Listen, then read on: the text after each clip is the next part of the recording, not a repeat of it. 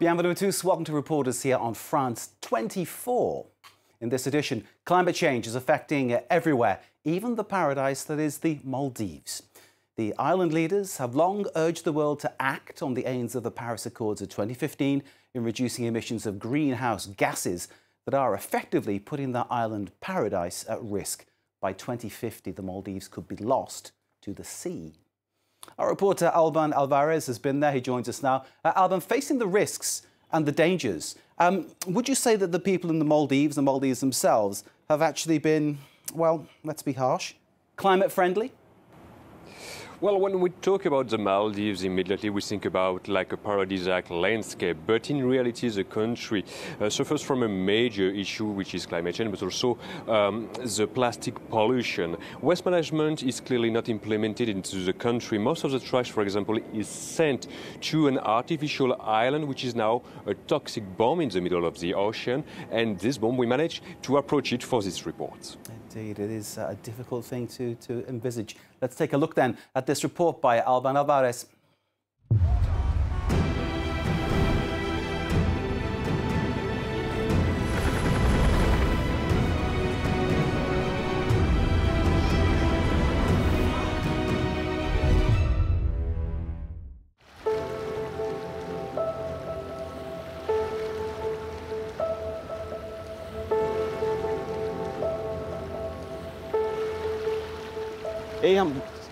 That whole lot was the playground.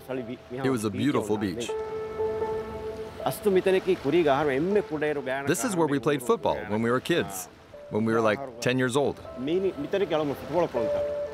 From this part to the further end was the beach, and where we are standing now is the middle of the playground.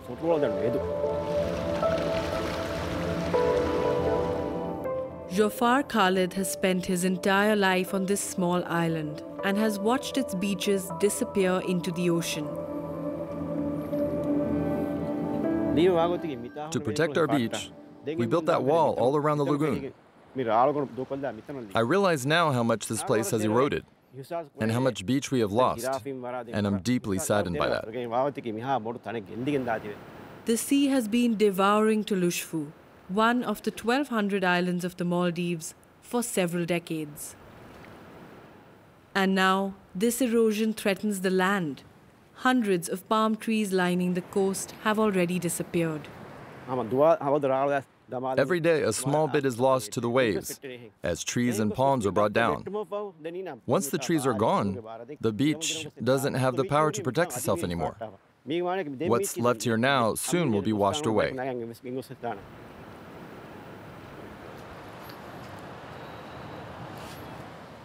Here's the beach as it was before. I wish that it could one day look like this again. We have lots of fond memories of this place where everybody comes and hangs out. And when you see this now, it's very sad. Toulouchefou Island is just one of a dozen examples. Boduhura, Kureduparu, these patches of paradise have already disappeared from the map. It's a climate and humanitarian emergency for which the countdown has already begun. In October 2009, at a depth of 6 meters, members of the Maldivian government held history's first underwater council of ministers. This astonishing action was a cry to the world to take drastic measures against global warming and the rising sea levels that threaten to submerge the Republic of the Maldives. This archipelago, located in the heart of the Indian Ocean, has 26 atolls.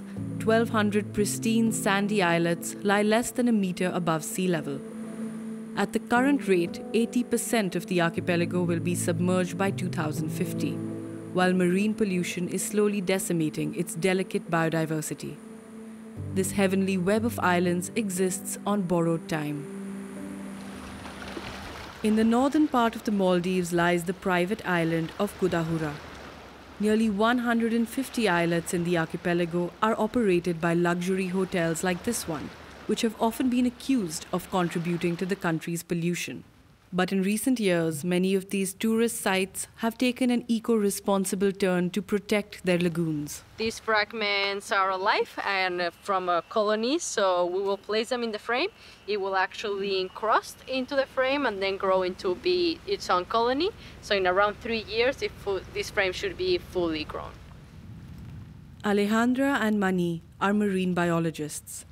They work in partnership with this hotel on a coral cuttings grafting project on these artificial structures. These little animals with their mineral skeletons could help save the Maldives. So whenever the waves are breaking near the island, it actually absorbs all the energy, so it prevents it from er erosion and things like that. So that's how coral reefs protect the islands.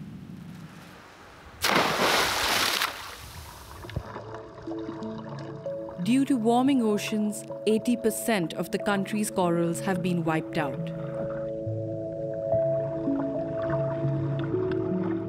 But at the foot of these luxury villas, can you please monitor that frame for photos?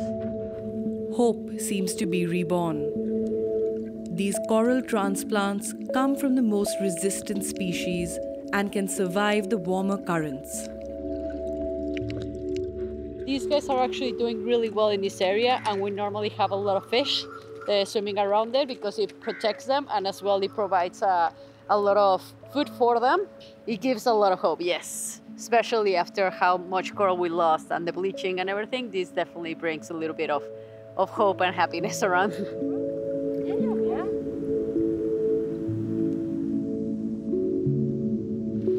The hotel complex even has a marine studies center where the collected data is sent. This French engineer has created state of the art software for this program, which monitors its development using artificial intelligence. Each little square means the computer has automatically detected a coral. Therefore, it tells us what species it detected, and the dead coral is in green. When we used to analyze the growth of corals, we had to go underwater, dive with a board, and note all the colonies one by one. Today, the studies have gone to the next level, and we can now automatically analyze 70,000 colonies at once with the computer. The Maldives also made the choice to scale up in an attempt to protect their inhabitants. On the island of Malé, the capital, nearly 230,000 people already crowd just over 2 square kilometers. In order to resist the rising waters and house its growing population, the authorities decided to build an artificial island created entirely from scratch. This is Hulhumale, the city of hope in Divehi. Hasim Khan is one of the architects in charge of the project. What we did was we reclaimed this, this island, which was non-existent before. It was water.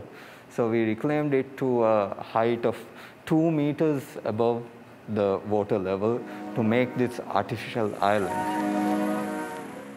This titanic project came to life in 2001 and 20 years later the first small island was built with industrial and residential areas. 45,000 inhabitants have already moved here. Hasim agreed to take us across this bridge, which is still prohibited for the public, to show us the second islet of Hulhumale. The plan here is to build a business district, a marina, a university, and new hotels to attract more tourists. We are going to use that sand for reclamation and other construction uh, purposes. And where the sand is coming from? This is the, the, the sand we dig, we, we, we dig from the sea. The final construction of Hulhumale will have required 10 million cubic meters of sand. The total cost would be $35 billion, part of which is financed by China. A strategic move to strengthen the Maldives' position in the Indian Ocean. And you see these housing blocks, you see these buildings over there they are all uh, residential buildings coming up, which is already under construction. Phase two is also targeted for, uh, you know, 100,000 people. Um, you can say it's, it's an entire city. The construction of Hulhumale should be complete by 2035. But this project to save the Maldives from an ecological tragedy comes at another cost. And ironically, it's environmental. Reclamation may be not the only answer. I mean, now in this day and this with, with the existing technology, we should try to look at how people can live over the water instead of reclamation because of course reclamation has it, its downside of you know you know affecting the, our coral reefs and and the underwater habitat. The artificial islands of the Maldives are not always used wisely.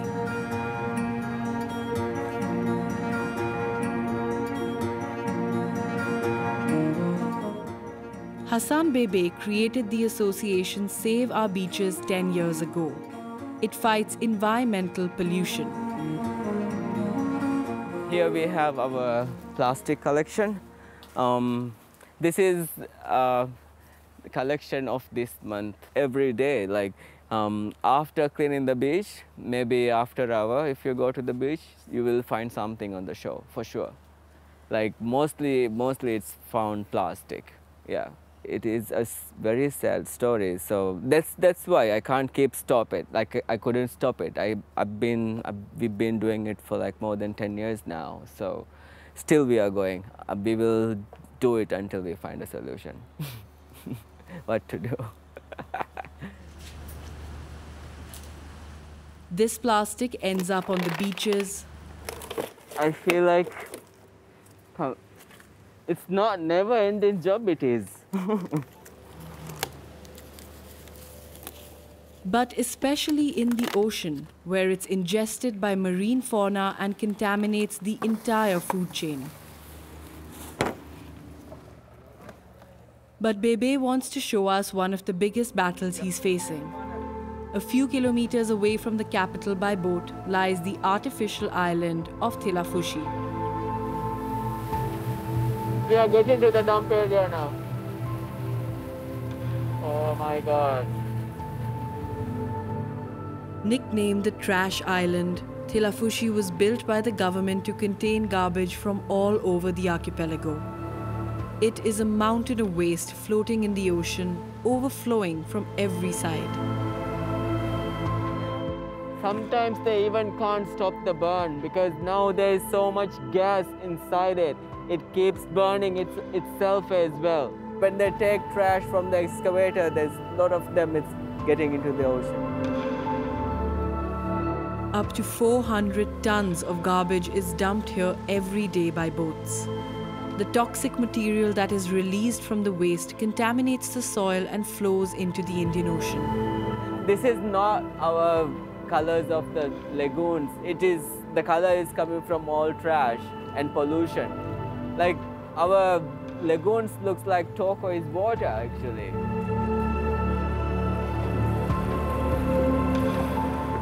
The blame goes to everyone today. The government also, they're not taking the right actions or they're not working towards in finding the solution for our garbage in the Maldives. And even the tourism sector, um, there are few islands which are trying to do um, waste management, proper waste management in the islands. They are trying, um, but most of the other resorts, they're not doing it. Despite the hazards, man-made island projects are still flourishing in the Maldives. Now it's a race against time to find the fragile balance between two conflicting ideals, the development of a nation or the protection of its environment. Well, our reporter Alban Alvarez is still with us. Thank you so much for that uh, insight into what's happening in Maldives. Let's talk a little bit more then about the situation. 80% of the Maldives, uh, that's some 1,190 coral islands, stands at less than a metre above sea level. That's now. Um, how are the people of the Maldives reacting to the threat that they are facing from the sea? Well, we met several local activists who try to warn the, the authorities and educate the young generation. One of them is Shazia Sahid. Uh, she's a diving and surf instructor, and she tries to protect surfing spots which are disappearing because of walls built in the ocean to prevent the erosion. And do you know what is happening to the surf wrecks? What is happening to the surf wrecks? Getting destroyed. I want to have a place where our kids uh, will enjoy a good waves that we have enjoyed before. It's very disappointing because the people who are destroying it are Maldivians and they should know better than that to destroy their own home. It's such a shame that it, every year we're losing a part of this beauty due to, due to all these um, demands from all sorts of industries needing more land or to build things. It's really sad. Some voices of reason there from the Maldives. Let's go back to our reporter, uh, Alban. Uh, Alban, it was, uh, I think, about 10 years ago when the former president held a news conference actually underwater to try to highlight the problem the Maldives were facing. Um, 10 years on, we're in the same dilemma, aren't we? Yes, and this same president 10 years ago intended to create a sovereign fund uh, in order to buy a new homeland to, to, a foreign neighboring country. It was a kind of insurance policy uh, against climate change and to save Maldivians from sea level rising. But this idea has never been put in place, never really been implemented. Plus, it would have been quite challenging, in fact, to, to buy lands from another country.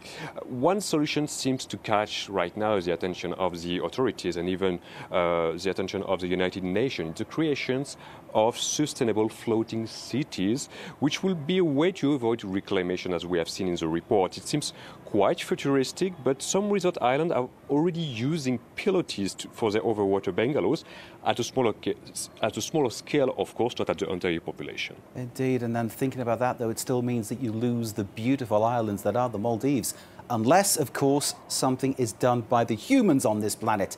And that's probably the challenge, getting them to change their ways. Uh, Alban Alvarez, thank you, sir, very much indeed for that insight into the challenge facing the Maldives right now. Uh, this is Reporters. Thank you for watching, of course. You can see it again via our website, france24.com. This is Reporters on France 24. Stay with us. Most of all, stay safe.